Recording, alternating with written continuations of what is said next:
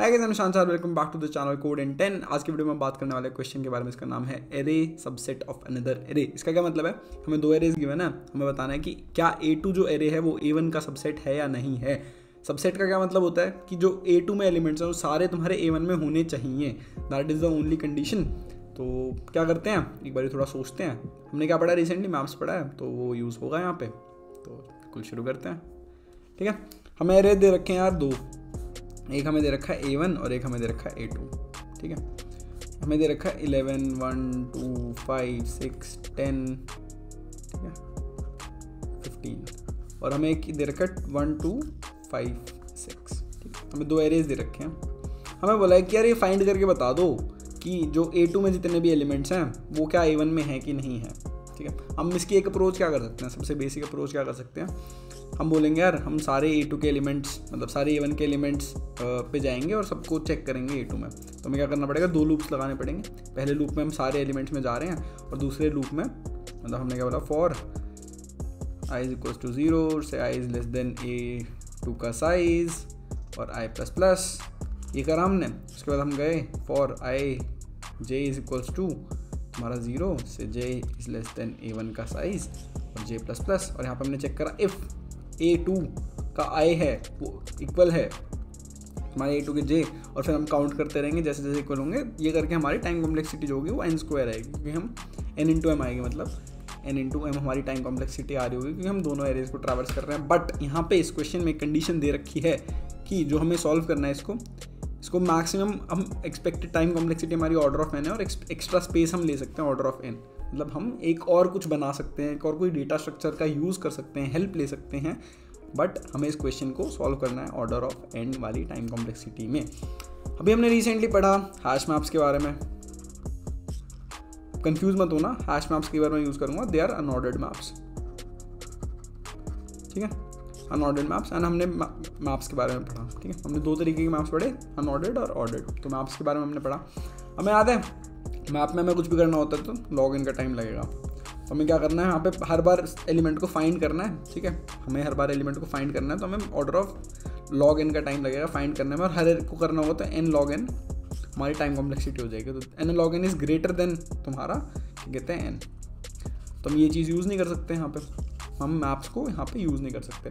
But मैंने एक चीज़ और बताई थी कि अगर हमें बस फ्रीक्वेंसी स्टोर करनी है, हमें ऑर्डर से फ़र्क नहीं पड़ता ऑर्डर से फ़र्क नहीं पड़ता तो हम फ्रीक्वेंसी स्टोर करने के लिए अनऑर्डर्ड मैप्स को यूज़ कर लेते हैं। हमें क्या करना है? कुछ नहीं करना।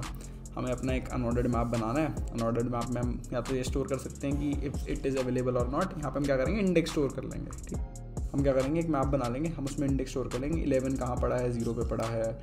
हमारा वन कहाँ पड़ा है? वन पे पड़ा है, टू कहाँ पड़ा है? टू पे पड़ा है, ऐसे ही तुम्हारा। ऐसे तुम्हारा फाइव कहाँ पड़ा है? थ्री पे है, सिक्स, फोर पे है, टेन, फाइव पे है और फिफ्टीन, सिक्स पे है। ठीक है? फिर हम क्या करेंगे? हमारा एरे टू को ट्रैवल्स करना स्टार्ट करेंगे। हम बोलेंगे वन क्या इस मैप में पड़ा हुआ है? हम बोलेंगे फाइंड करके बताओ। तो वन ये बोलेगा फाइंड करके पड़ा हुआ है। तो हम बोलेंगे, ठीक है यार, बढ़िया। नेक्स्ट पे जाएँगे।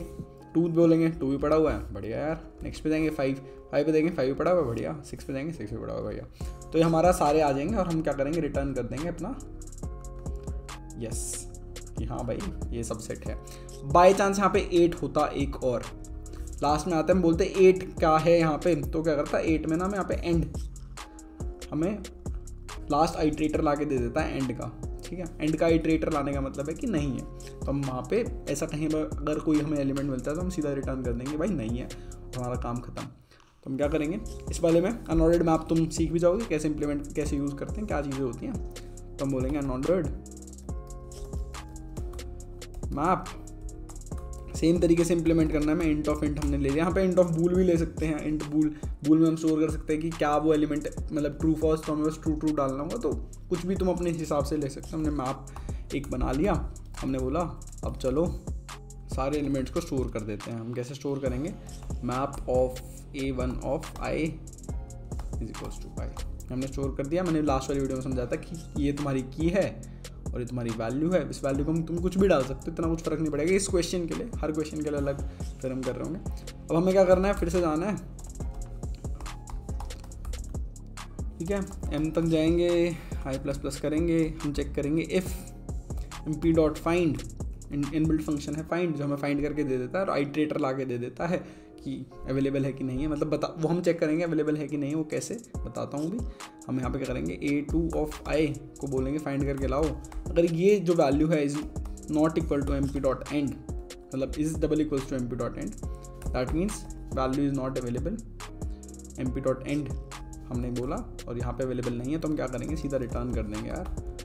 नो no, कि this is not a subset of the above one और अगर है सारे वैल्यूज़ मिल जाते हैं तो हम यहाँ पे जैसे रिटर्न कर देंगे, काम खत्म है। यहाँ पे मेरे को चेक कर रहे हैं, अभी मैंने समझाया कि अगर एंड हमें मिलता है फाइंड से दैट मीन्स कि वो वैल्यू इस वाले मैप में अवेलेबल ही नहीं है तो हमें आगे बढ़ने की ज़रूरत ही नहीं है। तो बस सिंपल काम खत्म हो गया हमारा।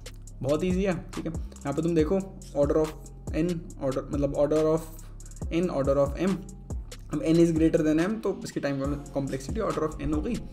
और अपना काम खत्म हो गया। एक बार कंपाइल करके देख लेते हैं। ठीक है? यस चाहिए चाहिए था यस ही आ रहा है सबमिट कर देते हैं। और हमारे 202 टेस्ट केसेस पास हो गए और हमारा काम हो गया। कुछ नहीं करा हमने सिंपल मैप का यूज़ करा और अपना काम खत्म हो गया। अब अब तो मैं एक बार और दिखा देता हूँ कि अगर इसमें हम नॉर्मल मैप ही यूज़ करते अनऑर्डर्ड मैप ना यूज़ करके मैप यूज़ करते तो हमारा टीएलई आ जाता। तो हमारा टीएलई आएगा यहाँ पर ठीक है? तो इतना ही था इस वाली वीडियो में। इजी क्वेश्चन है ये। ठीक है? ऐसे ऐसे थोड़ा थोड़ा लेवल बढ़ाते रहेंगे, थोड़े और क्वेश्चंस करेंगे। Thank you so much for watching this video I hope तुम्हें वीडियो पसंद आई होगी। मिलते हैं नेक्स्ट वाली वीडियो में। तब तक के लिए बाय